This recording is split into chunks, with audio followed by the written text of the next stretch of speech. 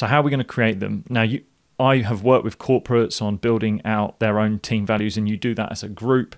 And if there are corporates out there that are interested in that, then you can head over to my website where we can and find the corporate section down at the bottom where work on bringing out your values together as a team. However, and there's a small little plug that I didn't think I was going to have to uh, going to be bringing into this episode, but from an individual basis, the difference is that you are just bringing your own individuals into into life. It doesn't mean that you can't work within a team that has its own values. So a team's value set will be how you want to work as a collective, and then within that, you can have your own values of how you might fit in your own values and behaviors within that structure, within that whole organization.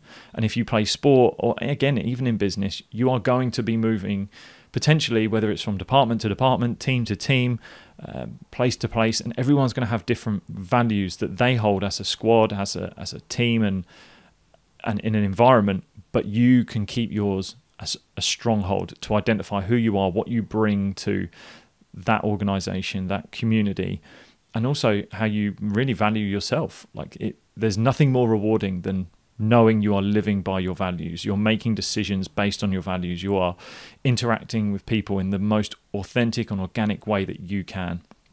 So let's go into how we actually create them. And I want you to either grab a piece of paper. In the Mindstrong Journal, there is a, a section where you can actually do this whole process. But if all you need to do is whether it's grab your phone into the notes or grab a pen and paper, that cathartic process of writing down and putting pen to paper is a brilliant way to do this. And all you're going to do for the first exercise is to describe one of your toughest moments in your life and then write down what energy did you draw upon to get through it. So, what was a really challenging moment that you had? And then, what were the energies that you drew upon in order to get through that? And you will start to write down some descriptive words that are really going to be about your level of resilience that you had.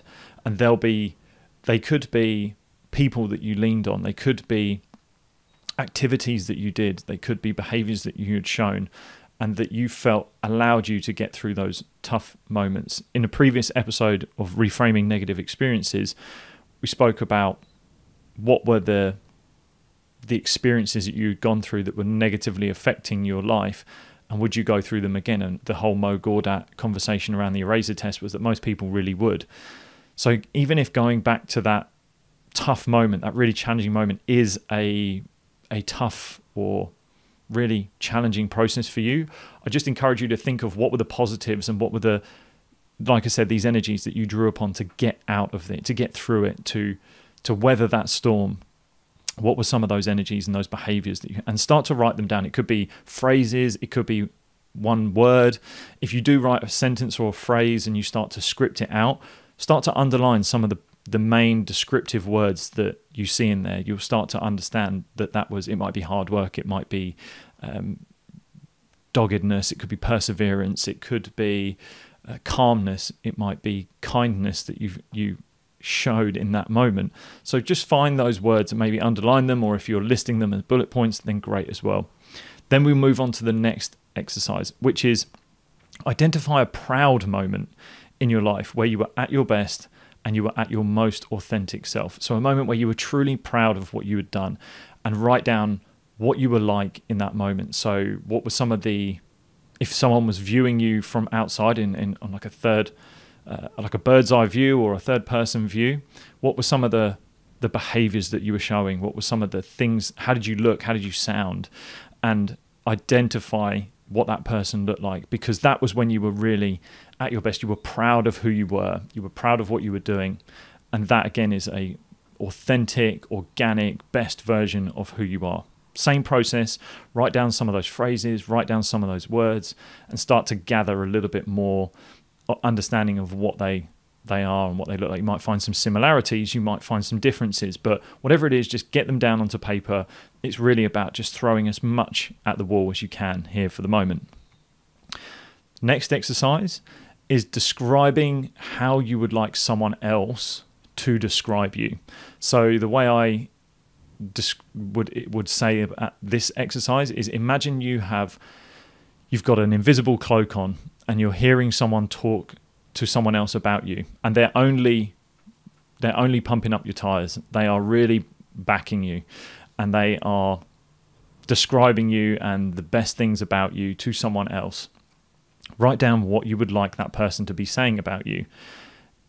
It's the things that you want to be seen doing in the world. It's the way in which you want to be presenting yourself to the world. And once you've written that down, once you've described those things, try to go in as much detail as you can. So if you write something like kindness or uh, Lewis is kind, what does kindness look like? What does that kindness, how does it exhibit itself?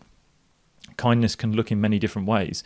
Is it listening to others? Is it taking being patient with others? Is it so really get into the description of what that word means so that you can start to really conjure up some idea of what the values you want to bring into the world because the values that we get onto they don't necessarily have to be one word answers they can actually be sort of action based phrases that will again trigger you into recognizing what the behaviors are going to sit underneath it. So again, write down what you would like someone to describe you as, how you want them to describe you. Get as much down as you can, be as descriptive as you possibly can, go into much depth as you can, so that you get a real good idea of, of what it looks like. And after that exercise, you can actually ask yourself, well, am I living this? Am I living by this version of myself? Am I doing this? And you can kind of hold yourself accountable to an extent where you can you can really look at it and go, well, this is what I want people to see me as. Am I doing that? And you might be able to again go to my favorite question sets of questions is can I control this? If yes, take action. If no, I need to accept it.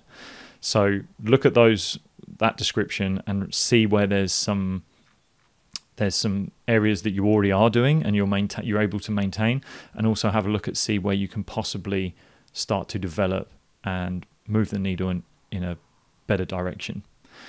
And then finally, the last exercise for discovering is if you're really stuck with something like this and you're struggling to bring it out yourself, ask a friend, a family member, someone you really trust and you're open and honest with quite a lot that you can ask them, what is it that you value in me? What are the what do I do to show this? Why am I a good friend? And and and they may come out with again really cliched answers, but then go a little bit deeper and go, yeah, yeah, I understand that, but what makes me unique as a friend? Why do we why are we friends? What is it that I bring to you that you keep texting me or we keep hanging out? We've been friends for so long. Why has that happened? What is it that I'm doing that allows this friendship to to be here for so long? And you will start to get some answers. You will start to get some of those behaviors, some of those values, and they should start to list them and they can go a little bit deeper. You can question them. you can ask them, is there anything else? Is there is there more? Is there anything a way in which I make you feel? And you can start to bring that out. So whether that is a friend, a colleague, a teammate, a family member, just ask anyone that you trust, anyone that you really feel will give you an, an honest answer, and you can have that in-depth conversation. Again, if you kind of know them but don't, you more than likely just get a cliched answer and that's not what we're aiming for. We want depth we want meaning we want some real quality coming from these conversations